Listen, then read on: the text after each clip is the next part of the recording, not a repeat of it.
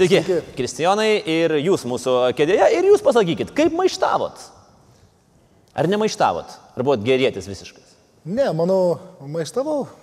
Įvairių buvo tų maištų, gal ne visi tinkami eteriai. Oi, šitam eteriui tinkami visi, žinokit. Čia toks eteris, kur, kur bet ką galima pasakyti. Galite ir blogą žodį pasakyti. Bet gal vienas iš toks įsimintinas labiau maištavimo būdas buvo kartu su dviniu broliu Mes e, dar kai mokėmės e, Panevežė penktoji gimnazijai, ten baigėm aštuonias klases, tai ten buvo įprasta tradicija, kad per mokytojų dieną dės veda pamokas, e, na, dvyliktokai. Tai yra mokiniai, o mokytojai ilsisi. Na, tokia buvo švė šventė ir, aišku, vaikam, mokiniam tai patikdavo.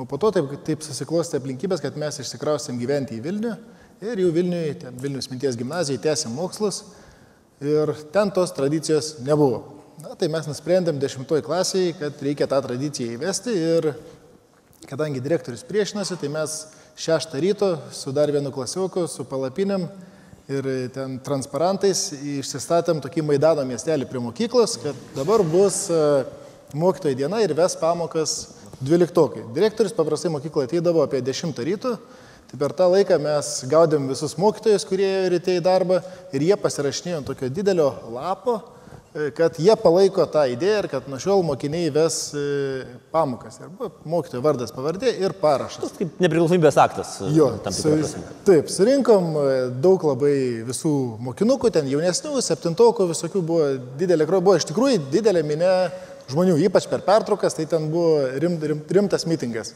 Ir atėjo direktorius, jis taip tokiu takeliu ateidavo ir jis taip kažkoks buvo, matėsi, kad jo žingsnis lėtėja, jis toks mažas labai buvo ir labai piktas.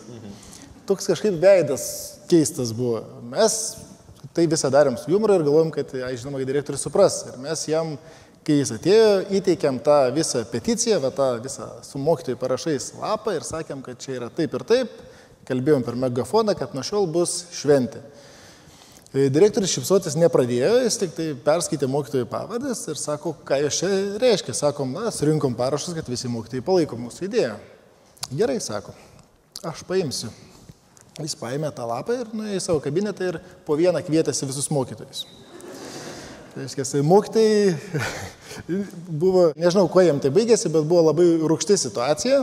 Po to buvom išsikviesti mes, bet mes buvom ką, vaikai, nu, mokytojai turėjo saugę žmonės gynėsi rašyti, maišto nekelti. Taip, taip. Buvo apkaltinti. Taip, mes buvom tiesiog, taip susiklosti aplinkybės. Reiškia. Tai direktorius, aišku, jisai ten Neatsimenu, ar mus ir nubūdė kažko, gal po pamokų paliko ten savaitę kiekvieną dieną, bet tai nebuvo kažkas ypatingo, žodžiu, bet mokytojai tai nukentėjo stipriai ir nuo to laiko ten tie visi dalykai baigėsi. Bet iš esmės, kaip sakyt, mes išlipom sausi, e, moksleiviai palaikė mus ir kiekvienais metais buvo bijoma tokio pasikartojimo. Tai iš esmės buvo šioks toks maištas. Bet, bet o jums nešoja, pavyzdžiui, galva, jeigu jūs žinot, kad jūsų direktorius yra mažas, piktas ir be humoro jausmo, kad jis nesupras šito viso dalyko? E, Jūs jau tą žinojote. Ta tikimybė, reikia pripažinti, buvo gana didelė, bet Taip. mes nusprendėm pabandyti. O jūs, pavyzdžiui, kai atradimus daro dabar e, ir išradimus darot įvairiausius irgi, e, tikimybė didelė, kad nepasiseks, kad sproks visa mūsų laboratorija, nu bet reikia pabandyti. Nu, taip, aš manau, kad tai yra dalis proceso. Dali... Aha, mm, gerai, įdomus čia variantas.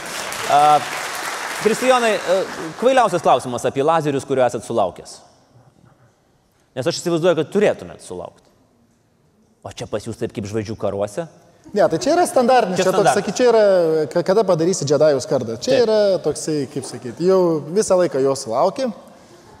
Ir e, aš galvoju, pats kvailiausias, nu, sunku pasakyti, bet nu, galbūt tai būtų toks standartas, dabar neiškyla ne, ne į galvą ten. Hmm. Tai čia yra moksliškai kvailų klausimų, bet čia vis tiek nesuprastų lietuvių. Gerai, tada mano kitas klausimas.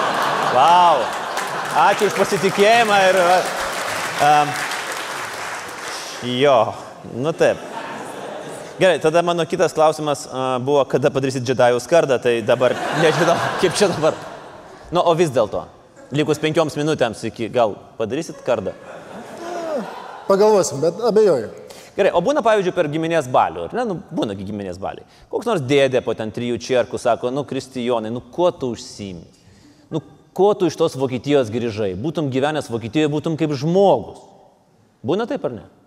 Ne, taip, taip nebuvo, gal pačioj pradžioj, kai tik tai grįžom, buvo tokia lengva panika, kad ką čia darot, bet, bet šiaip palaikymas buvo, nu ką žinau, tai gerai pasisekė. Jeigu būtų buvę kitaip, tai galbūt būtų tų klausimų visokių ir komentarų buvo. Bet, Bet dabar viskas dabar... gerai. Ir po trijų, ir po šešių čerkų palaikymas. sakyčiau, labiau ne giminiai, giminiai tai tikrai tokių klausimų nebuvo, bet labiau buvo iš, kaip čia taip aptakiai pavadinti, iš, mes kai grįžom iš Vokietijos, mes e, nebuvom šitos Hebros dalis. Mes buvom kažkas iš kitur. Ne? Ir buvo čia specialistų, kurie sakė, kad neveiks, e, pavogė technologiją, e, apgavo visus, e, neturit pažinčių ūkio ministerijoje ir tikrai jums nepaeis kordą.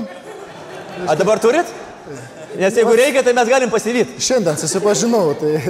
Tai gal gerai. pravers, negali žinoti. Ir didelė tikimybė, kad sproks. Tai va, buvo tokių, va, kaip sakyt, buvo ne visai gražu, bet tokio buvo didelio smerkimo ir tokio buvo, kad e, tikrai neveiks.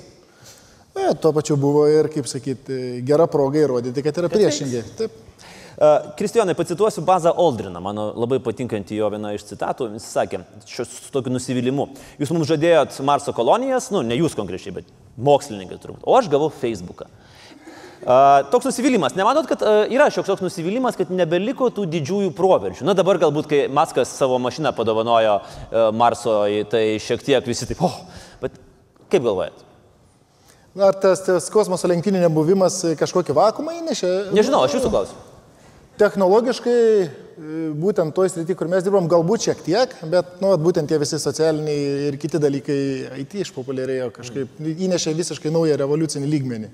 Iš esmės. Tam tokiam mikro lygmenyje labiau. Nu, jau nekalbant apie tai, kad internetas tiek mano, tiek daugelio kitų žmonių nuomonė yra tikrai yra revoliucija, kuri yra daug, nu, tai yra vienas iš tų revoliucinių žingsnių žmonijos istorijai, kuri visą keičiantis. Mhm. Tai yra ten ne tranzistorius, ne lazeris, ne, ne paskutinis skridimas į mėnulį, bet internetas. Galimybė informaciją keistis čia ir dabar momentaliai. Tai yra revoliucija, tai yra prilyksta galbūt rato išradimui, nežinau. Kaip jūs jaučiatės gerai švesdamas? Kaip jūs parekomenduotumėt? Ja, skamba labai labai dviprasmiškai, bet um, kas antras mūsų čia žodis skamba dviprasmiškai. Supratau, nu ką žinau, man atrodo, man įsiprasmina tas visas šventimas, to, ar tai būtų šimtmetis, ar, ar nuo kada matuosi valstybės, bet aš manau, modernios valstybės šventimas man įsiprasmina darbais iš tikrųjų, kai aš Aš tarkim gyvenau Vokietijoje ir ne, dirbau, dariau kažką, gaudavau už tai algą ir kūriau kažkokią gerovę bendruomenį, bet aš nekūriau gerovę savo šalį. Ne? O čia aš galiu darbinti žmonės, galiu kurti produktus, eksportuoti, kurti pridėtinę vertę taip toliau. Tai mano nuomonė yra prasminga. Ir man va, tai yra didžiausia šventė, kai aš kai mūsų įmonė gerai sekasi ir mes turim galimybę įdarbinti ir sukurti naujas darbo vietas, taip toliau, man čia yra šventė. Ir tai gali įvykti kiekvieną dieną. Tai galima sakyti, šventė, kuri niekada nesibaigia. Taip. Tai labai gerai, čia yra idealus variantas turbūt švesti. Čia, oho, kiek čia žmonių pavydėtų, va, taip, kad nori šventę švesti, kuri niekada nesibaigtų. Jūsų šimtmečio dainą, lietuviška. Kas skamba galvoje? Arba skambės? Taip, muzika nėra tas dalykas, kas lydi mane visą, visą gyvenimą, bet uh, Iš vaikystės gal labiausiai įstrigo dar, man buvo kiek gal penki metai, ta bunda jau Baltija, kur per visus radio taškus močiutės, tėvų ir kaimynų ir neskambėjo, tai ta tokia melodija. Galbūt jin tokia tą patį pabudimą ir, ir символизує.